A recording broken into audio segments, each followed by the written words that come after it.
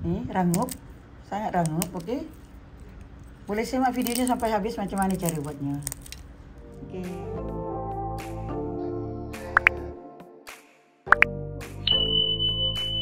Hai, Assalamualaikum. Selamat berjumpa kembali. Uh, saya hari ini nak masak kerupuk kerupuk dari ini dari tepung beras. Ini tepung beras 250 gram. Margarin 1 sendok, 1 sudu. Yang ni bawang merah 3 ketul, bawang putih 3 ketul. Ni kunyit sebanyak ni dan cili padi 3 biji, cili merah besar 2. Ni perasa. Perasa 2 sudu makan dengan garam sikit saja. Ni airnya 350. Okey. Tapi sekarang saya nak sangrai dulu tepungnya supaya dia ringan. Okey, letak sini. Sangrai dulu sampai dia masak. Api kecil. Nanti kalau dia nak tahu masak macam mana, dia akan tahu rasa ringan. Sekarang kan berat. Dia akan rasa ringan kalau masak. Okey. Okey. Ini tepung sudah masak, sudah wangi baunya, bau tepung, tepung beras. So ini sudah masak. Saya tutup api. Saya nak tukar kat bekas. Okey, cili potongkan masuk sini blender sebab nak blender. Cili ini tiga cili padi kan, supaya nanti dia ada pedas.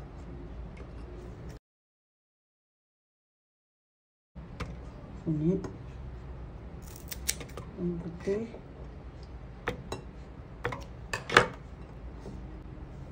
Lanjut merah. So, letak air. Ni air tadi 350 ml.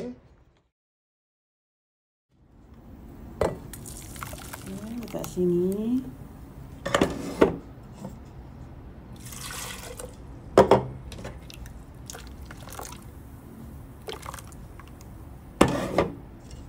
Cucikan. Tadi air 350 semuakan. Lepas tu masak dulu. Okey, masak dulu. Letak sini. So, kacaukan.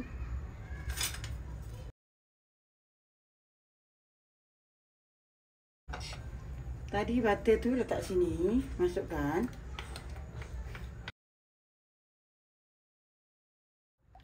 Okey, sampai melegak. Okey, baru nanti masak. Tak perasa sekali dengan garam sikit tadi.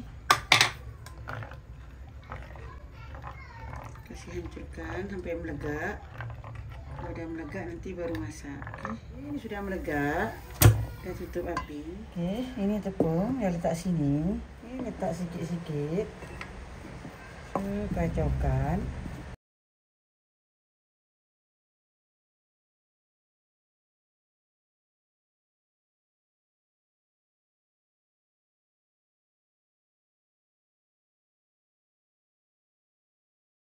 Kalau kacau dengan itu nampak tak habis kan? Kita nak kacau dengan tangan. Yang panas lah sikit-sikit.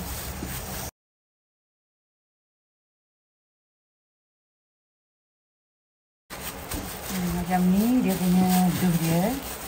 Aduran dia macam ni. Tak payah lembik sangat. Tak ada kerasanya.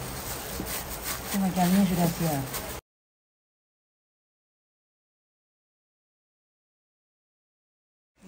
Taburkan tepung sikit supaya nanti tak melekat. Tepung beras ya. Nah ini pula adonan dia macam ini buatnya. Ini bakar sini.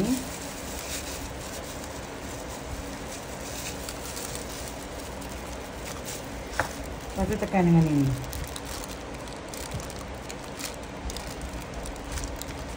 Hmm, macam ini lah ya macam ni. Ha, seterusnya buat macam ni. Ha, kecil-kecil macam ni. Ambil kecil macam ni kan. Lepas tu tekan macam ni. Jadi macam ni. Okay, ini dah siap gorengannya nak digoreng. Okey, sudah panas, letak minyak. Ni saya nak goreng.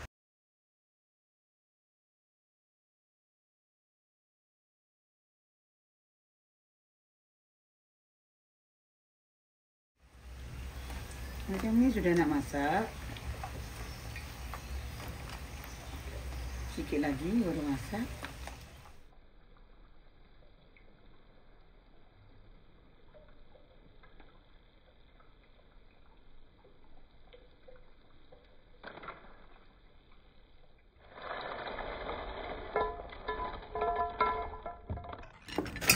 Okey, sudah siap keripik tepung beras. Hanya dua bahan saja, sangat ekonomis. Boleh cuba kat rumah. Dan jangan lupa subscribe, komen, share and like. Jumpa next video ya guys. Assalamualaikum. Bye.